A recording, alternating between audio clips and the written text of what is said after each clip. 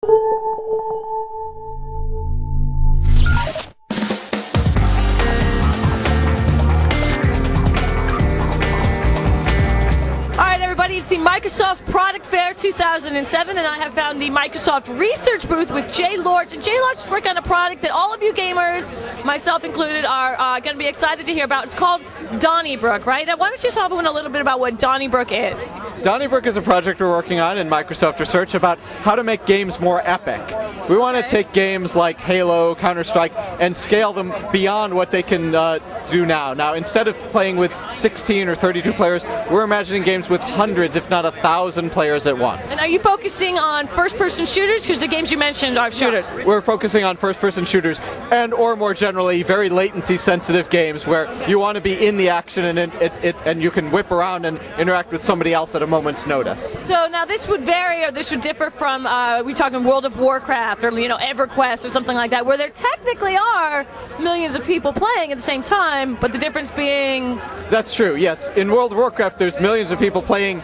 in theory, but they're all- all on different worlds, and you're interacting with a small subset of them at any given time. Okay. We're talking about a massive battle, like.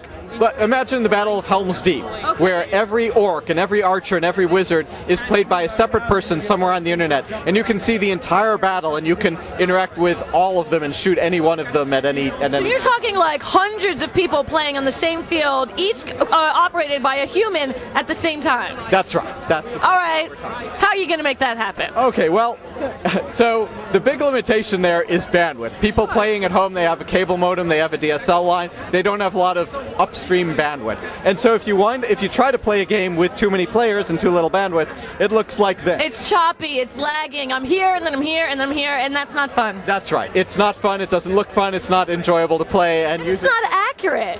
It's not. You don't know where people are, and uh, that's right. And over, but over here we have an illustration of uh, what the game looks like with our techniques. So we got the same simulated network conditions. People are playing on, on with very little bandwidth and a lot of players, and yet it looks very smooth and realistic, and it's fun to play. We've had user studies where they come and play our game, and they and they love it.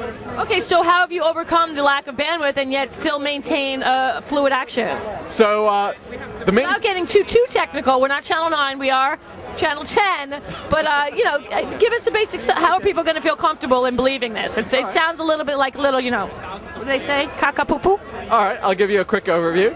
So we figure out, we have heuristics to figure out who you're paying most attention to, like who you're looking at, who you've recently shot, or who shot you, and those people, we we call them be your focus set. Those people send you updates every frame, and they tell you exactly where they are. Everybody else just tells you occasionally where they are. So the people you're paying most attention to, you know exactly where they are, and they're rendered perfectly. So is this based on some sort of like uh, psychiatry? Like apparently I have a vengeance against, let's say, I don't know, Tina. So and, I, and I'm chasing this one person down. What if I decide to just be completely random and chase anyone in my sight?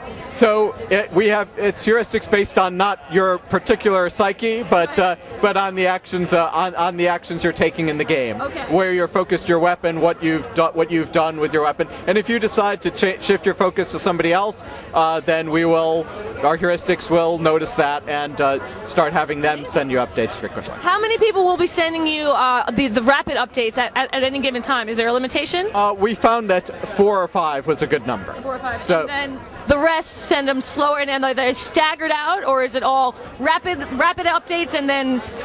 So everyone else is sending you updates infrequently, which might lead you to think, well, why isn't why aren't all the people in the background really really choppy? Because they're sending you updates even less frequently than there. Right. And that's where our other technique comes in, which we call guidable AI. Okay. So uh, those people who are sending you updates infrequently, you simulate them locally with a bot. Okay. It's a computer controlled player, but unlike a regular bot with a regular AI, we call it a guided AI because it's taking guidance about how it should act from the human that it's emulating.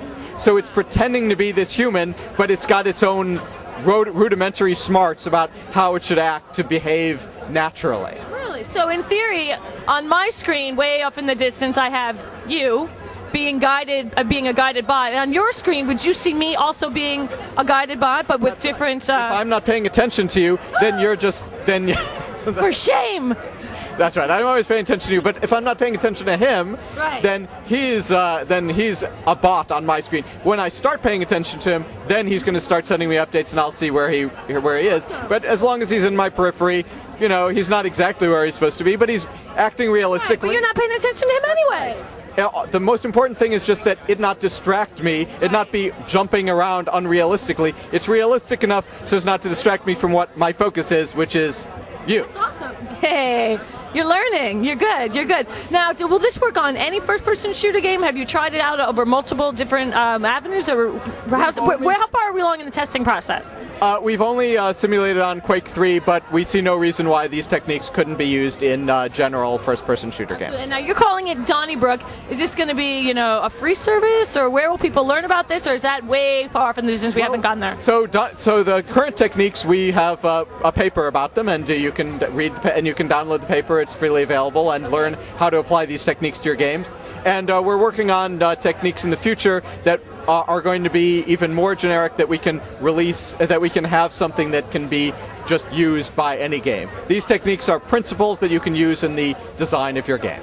Very cool. So let me ask you, how much time in your average workday is spent just playing games? you, we, no, we can be honest now. Well, uh, that's what we have interns for. I'm And right now, we've got 8 million people live searching to see if Microsoft Research is hiring interns. all right, well, thank you very much. It's called Donnybrook, and you guys can download the paper and read all about it, and hopefully uh, use it in practice. Thank you. Thank you.